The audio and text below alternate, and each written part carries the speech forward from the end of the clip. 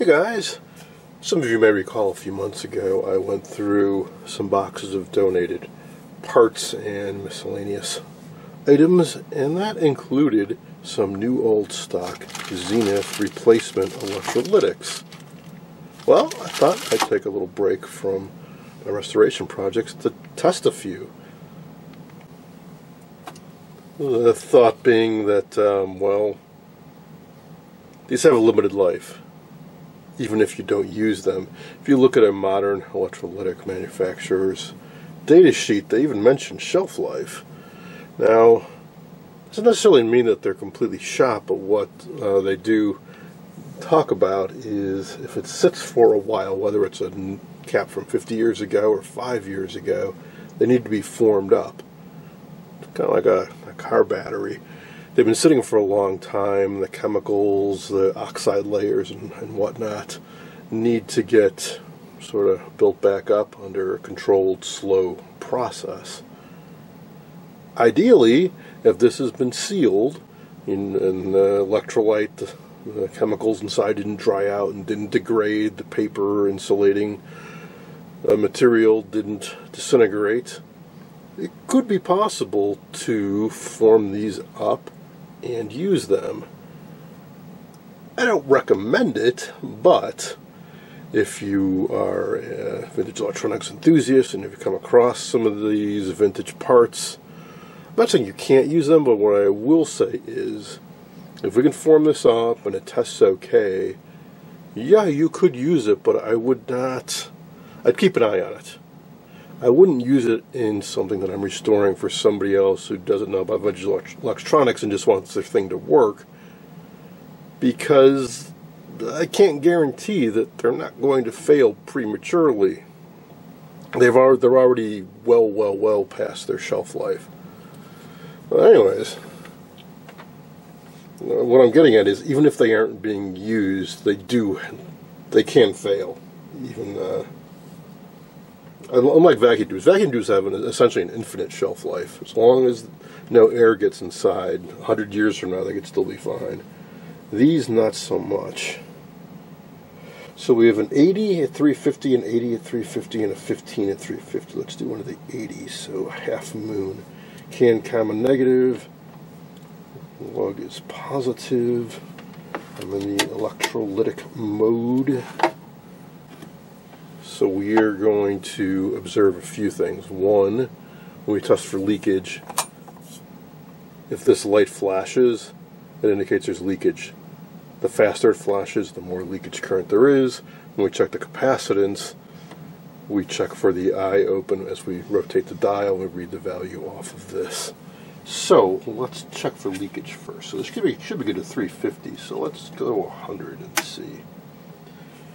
So it lit up, but then it faded out. That's a fantastic sign. Here, I'll do this in complete darkness. Let's go two. Taking longer, but what that means is that that's what a healthy cap will do. It means, yeah, there's current flowing while it charges up. And once it charges up, current flow stops, the light goes out. That's an excellent sign. Let's go to three. And this is exactly what I would expect as I go higher in voltage. It takes longer and longer for that light to go out. So we should be good. Be, we should be good to 350. I'm putting about 300 on it. It's not going out. Let's go back to 200. One out. 100. Zero. You see that? This neon bulb has two sides to it. One lights up when I go clockwise and it's charging like that when you discharge it, the other side lights. So that's excellent. It means 200 volts, we're charging, it goes out, we don't have excessive leakage current. When I go to zero, it's putting energy back into the system. It means it, it is capable of storing energy, not leaking it away, and then delivering it back to the system. It's exactly what a capacitor is supposed to do. However, when we go to 300, and it should we get to 350, Oh, hey, it went out. So that means, or no, sorry, we're only at 200. At 300, it hasn't gone out yet. Okay, it did. So what does that mean? That means it formed up. it's now capable of having 300 volts across it without breaking down, without having current flowing where it's not supposed to flow. If we go back to zero, 80 microfarad is relatively large, so that light stays lit for a while. That's that's excellent. So yeah, I would expect if you put this cap in a circuit that called for an 80 microfarad, 300 volt cap, it would work all right. Let's check the capacitance now.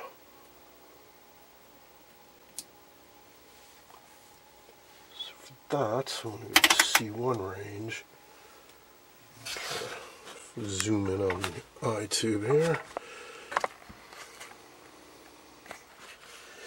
Okay, uh, this capacitance meter 80 is kind of pushing what it can go up to.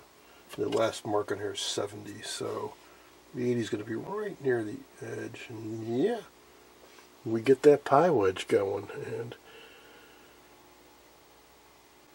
it's a little off scale, but that's that's about where I would expect it to be. It's it's near the end, the max mark on the scale. So yeah, this cap seems to be okay. Let's try another one. Uh, let's try to find one that's a little bit higher voltage if we can. this one's huge. Whoa. 500 microfarad, 400 microfarad, 150 volt. This tester can't handle that, so it's Let's set this 4 and 500 microfarad. Alright. Yeah, this guy's a little bit too big too, but we can try it. So the smallest cap in this one is 100 microfarad, 350 volts. So we're kind of pushing what this meter can do, capacitance wise. We can certainly check the leakage on any of these though. So let's put our negative to the can and positive. Let's do the 100 microfarad section. That's the plus. And here we go again. Check for leakage.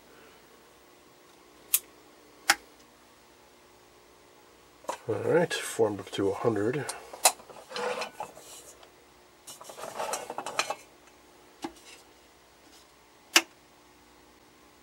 Two hundred, no problem. Three hundred, taking a bit of time, just like the other one did. Now, if you're really trying to form up caps, you should let it sit for 10, 15, 20, 30 minutes, an hour or two if you really want to squeeze some life out of something.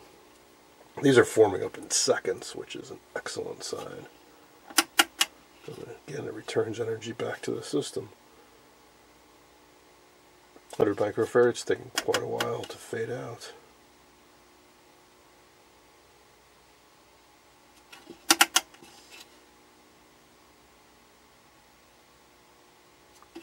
check for capacitance. Again, this is really at the limit of the meter, but yeah, we are getting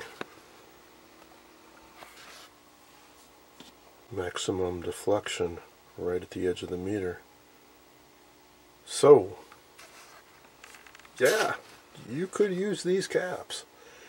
Might last a year, might last a week, might last 20 years. That I can't say because they're well past their shelf life, but they test okay.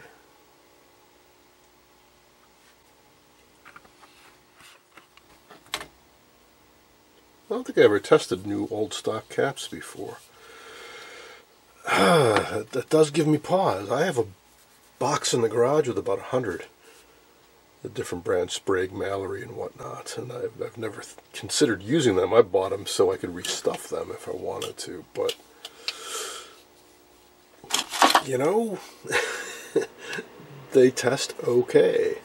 And if I was using them on one of my sets and I keep an eye on it while I'm running it, I would know to shut it down if anything goes wrong. It's kind of tempting to use them. So I'm curious to see what you all think about would you use parts that are 50 years old? I don't know exactly how old these are. Let's see if I the manufacturer. 7834. Okay, maybe these are from 1978, which my first thought was, ah, it's not that old, but yeah, okay, 78 is a while ago, so what's that, 45 years ago, 46 years ago? Would you use parts that are about 50 years old?